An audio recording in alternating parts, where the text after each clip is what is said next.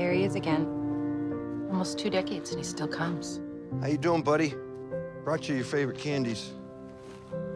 Come on, Lloyd, you gotta get over her. Mary Samsonite was just a girl. That's it, kid. Come on, come on, come on. Spit it out. God, yeah!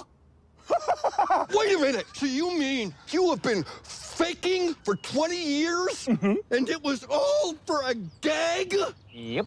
That's awesome! Oh, oh, why don't you roll me inside? We'll get the nurse to take the catheter out of me. we don't need nurses for that. But don't you have to... I like what you've done with the place. Who's this? Oh, that's Butthole. I found him out in the alley. Why'd you name him Butthole? Because of this. Oh, yeah. Good name. Totally fits. It's a postcard from Fraida Felcher. Harry, I'm pregnant. Please call me. What do you think it means, Harry? Lloyd, I'm gonna be a dad. Ah, look at the postmark. 1991. I had a daughter. I gave her up for adoption. What if we go track her down? You're hot for my daughter. What? Am I right? What? Am I right? That's insane. Want to hear the second most annoying sound in the world? Sure. Yeah, that's pretty annoying. No, not that. What the hell are you doing ringing our doorbell like that in the middle of the night? That.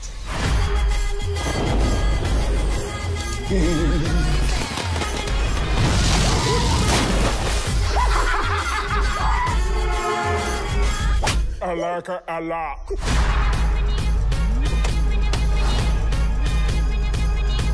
Oh, check out the hotties at 12 o'clock. That's three hours away.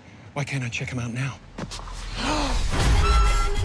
I know she'll appreciate all the trouble you've gone to to find her. Let's call her. It's ringing. Whoever this is, we're in the middle of something very important here. This is your dad. What? Hey, guys. I know this is weird timing, but I gotta take this. It's my dead dad. She's got me on hold.